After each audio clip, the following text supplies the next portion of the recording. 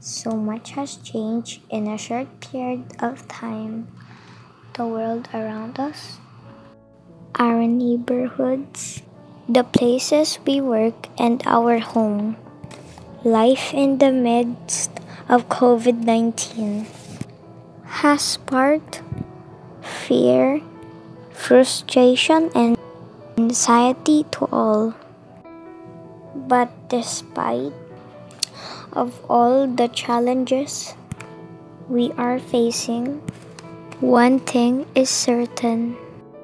We could help our nation stand up and fight.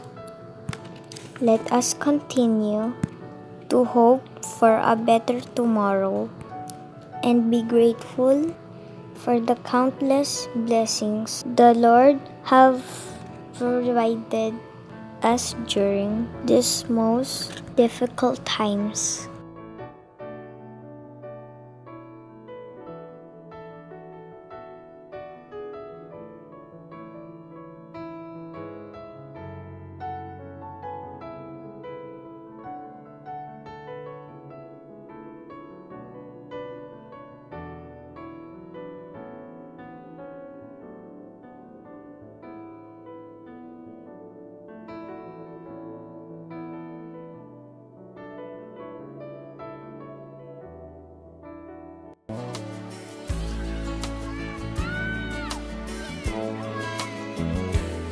There's a place in your heart, and I know that it is love.